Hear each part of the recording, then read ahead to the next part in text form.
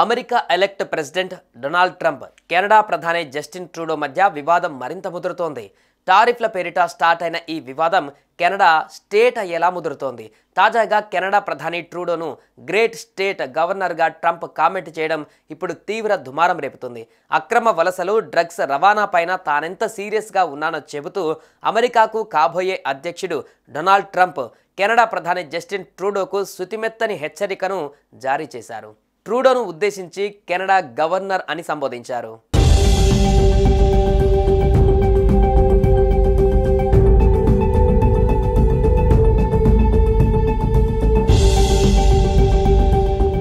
Canada నుంచి వలసలు drugs రవాణాను అరికట్టకపోతే ఆ దేశ దిగుమతులపై ఇరవై ఐదు శాతం ట్యాక్స్ విధిస్తానంటూ ఇటీవల ట్రంప్ హెచ్చరిక చేసిన సంగతి తెలిసిందే.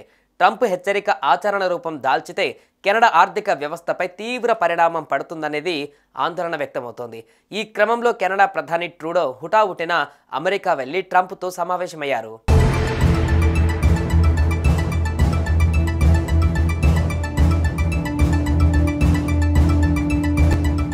డిన్నర్ సందర్భంగా వలసలు డ్రగ్స్ రవాణాను అరికట్టడంలో విఫలమైతే అమెరికాలో యాభై ఒకవ రాష్ట్రంగా కెనడా చేరాల్సి ఉంటుందని ట్రంప్ పేర్కొన్నారు. ట్రంప్ నుంచి ఊహించని వ్యాఖ్యతో షాకైన ట్రూడో ఆయన బృంద సభ్యులు ఏడవలేక నవ్వారు. అయితే తాజాగా సోషల్ మీడియాలో ఓ పోస్ట్ పెడుతూ ట్రూడోకు మరోసారి షాక్ ఇచ్చారు. ఆ రోజు గొప్ప రాష్ట్రమైన కెనడాకు చెందిన గవర్నర్ ట్రూడోతో కలిసి డిన్నర్ చేయడం ఎంతో ఆనందాన్నిచ్చింది. ఆ గవర్నర్తో మరోసారి సమావేశమయ్యేందుకు ఎదురు చూస్తున్నాను కెనడా నుంచి అక్రమ వలసలు డ్రగ్స్ రవాణా పైన సుదీర్ఘంగా చర్చించాలనుకుంటున్నానని ఆ పోస్టులో పేర్కొన్నారు.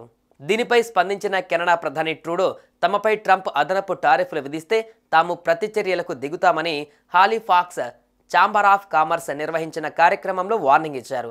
అమెరికాలో ట్రంప్ గత కార్యవర్గంతో పోలిస్తే కొత్త బృందంతో డీల్ చేయడం కొంచెం కష్టమైందన్నారు. కెనడా నుంచి వచ్చే ప్రతి వస్తువుపై పన్నులు విధించడం వల్ల కాస్ట్ ఆఫ్ లివింగ్ మరింత పెరిగిపోతుందని యుఎస్ ప్రజలకు అర్థమవుతుందని జస్టిన్ ట్రూడో చెప్పుకువచ్చారు.